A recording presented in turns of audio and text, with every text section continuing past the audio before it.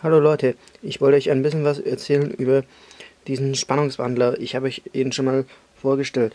Also hier haben wir den Stecker für die Steckdose. Also, ähm, ja, hier. Ähm, gut. Da ist ein Ringkern Trafo, hier so. Dann, der bringt etwa 13, äh, 13 Volt. Wechselstrom. Da habe ich noch mal eine Spulung drum gewickelt. Das kommt hier raus. Da hat man dann einen Strom, der hat nur noch 2 Volt, aber ein paar hundert Ampere. Ähm, diese Schellen sind hier schon leicht zusammengeschmolzen, also man kann Nägel und sowas glühen lassen. Dann haben wir hier einen Gleichrichter, dann kommen hier die 13 Volt raus. Auch diese Rodigelklammern. Uninteressant. Da, Hanne, kommt ein, weil ich noch einen Trafo hier eingebaut habe, verkehrt rum. Ähm, in den 13 Volt geht auf den Kondensator, den man hier extra an- und ausschalten kann.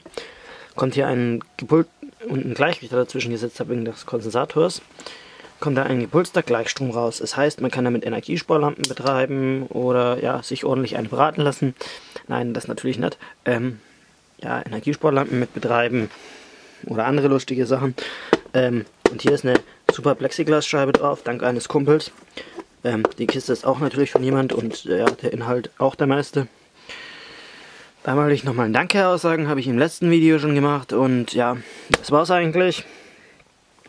Ich kann auch ähm, geschwind, danach kann ich noch ein geschwindes Video drehen. Ähm, werde ich auch die Energiesparlampe noch hinbauen. Und hier, keine Ahnung, Ventilator oder sowas, wo 13 Volt hat. Also gut, schaut den nächsten Teil an, dann seht ihr das. Und dann mache ich jetzt Schluss und ja, werde dann im PC nachschauen, wie ich den letzten Tag genannt habe. Und auch wieder auf meine Homepage stellen. Und ciao.